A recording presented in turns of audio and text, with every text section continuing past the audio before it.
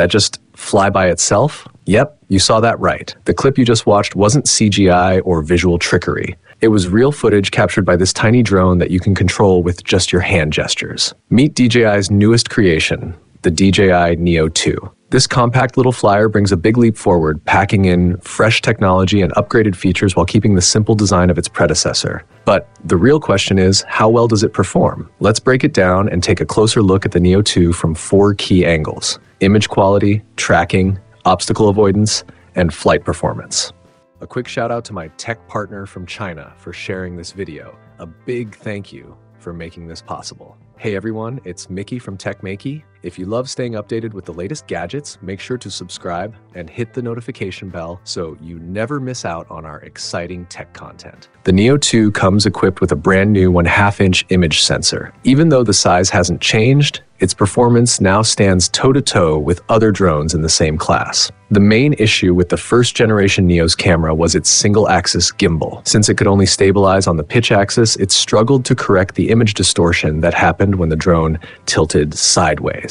To keep shots steady, the software had to crop the edges and sharpen the image, which meant losing some quality. Now, the Neo 2 solves that problem with an added roll axis, physically stabilizing side to side movement. That means no more heavy cropping, sharper details, and smoother footage. Plus, DJI has bumped up the aperture to f2.2, letting in more light, and upgraded the recording capability to 4K at 100 frames per second. The results crisp detail, vibrant colors, and clarity that rivals drones in the same range, and under good lighting, it even brushes close to what higher end models can deliver. That said, the smaller sensor does show its limits in post production flexibility and low light performance, so it's not ideal for nighttime shots. Still, when it comes to overall imaging, the Neo 2 definitely meets, and in some cases exceeds expectations for its category. To handle those bigger 4K files, DJI also boosted internal storage to 49 gigabytes, which gives you around 100 minutes of 4K 60 FPS recording. File transfer speeds have been improved too,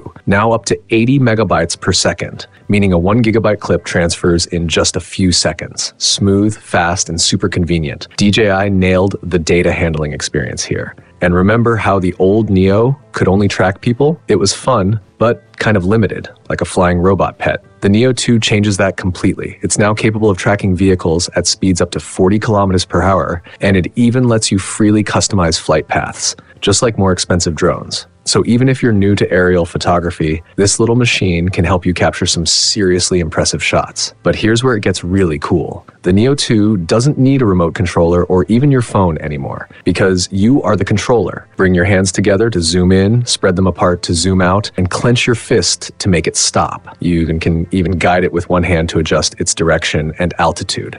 It's intuitive, futuristic, and honestly feels magical like the first time Steve Jobs used his fingers instead of a stylus to pinch zoom on the original iPhone almost two decades ago. Gesture control isn't just convenient, it changes how you interact with the drone entirely. And that's not all. The Neo 2 also has a built in display and side buttons, letting you tweak detailed flight parameters right on the drone itself. Tap the adjustment button to switch settings, hold it down to change distance, height, or angle. Then just point the camera at yourself, hit the takeoff button, and it captures your shot automatically based on your chosen setup. On top of the six existing navigation modes, DJI added two new ones. First, the intelligent selfie mode, which captures six different perspectives and takes up to five photos per angle. No more awkwardly asking strangers for help at tourist spots. The second is the dramatic West Zone demanding zoom mode a challenging navigation feature that the Neo 2 handles effortlessly, delivering cinematic shots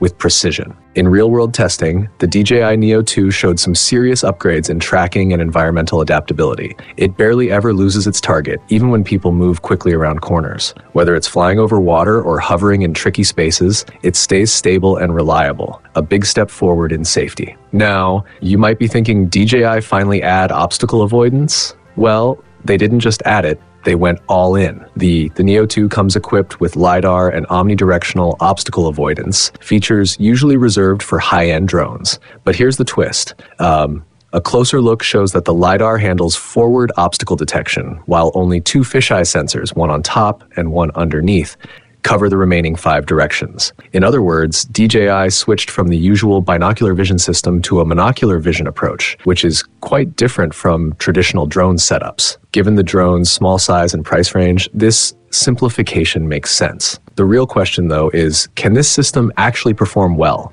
Can it handle nighttime obstacle avoidance and even return home without GPS? Let's find out. The test environment was no joke, full of obstacles that could trip up any drone. You could almost imagine the Neo 2's processor sighing as it got to work. But to its credit, the Neo 2 navigated smoothly thanks to its omnidirectional obstacle avoidance and false night protection system.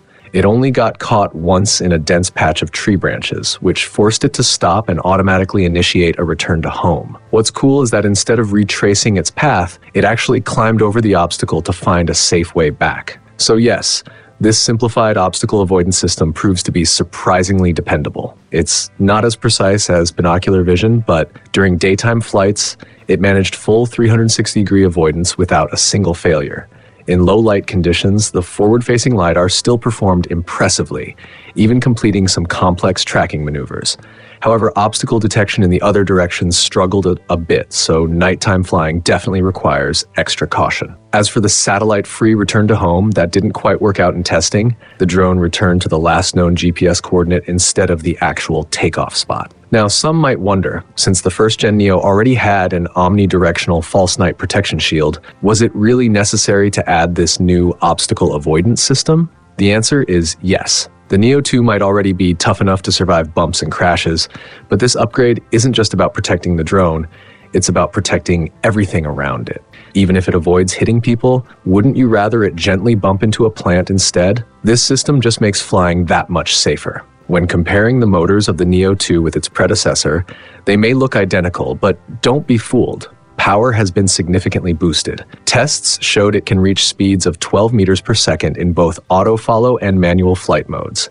It now has level 5 wind resistance, putting it in line with most mainstream drones. While it's not built for extreme power, it's more than capable for everyday flying and shooting scenarios. The maximum ascent and descent speeds are 5 meters per second up and 3 meters per second down. Not blazing fast, but decent enough for casual aerial shots. To support the power and performance upgrades, the battery capacity has been increased by around 10%.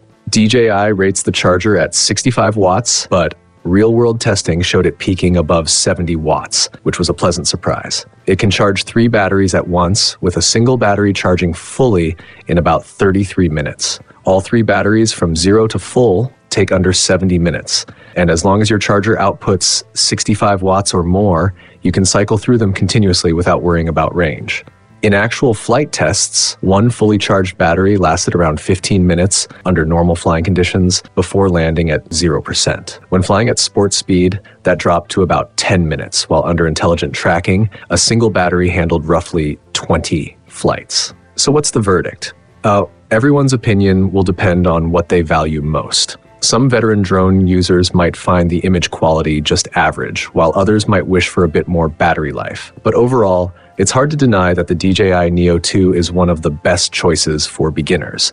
It offers great image quality, simple operation, reliable safety, and a reasonable price, a combination that's rare to find in one package. It's not just a flying camera, it's a full fledged drone that even lets you experience the excitement of racing style flight when paired with goggles and a joystick. One thing to note though, the Neo 2's O4 image transmission system uses an external module the standalone version doesn't have that module on the back, which means you can't connect it directly to a remote controller. That's why I personally recommend going for the singing and flying kit. It's the more complete and dependable option. So, what did you think of the Neo 2? Which feature impressed you the most? Let me know your thoughts down in the comments. I'd love to hear your take on this little flying marvel.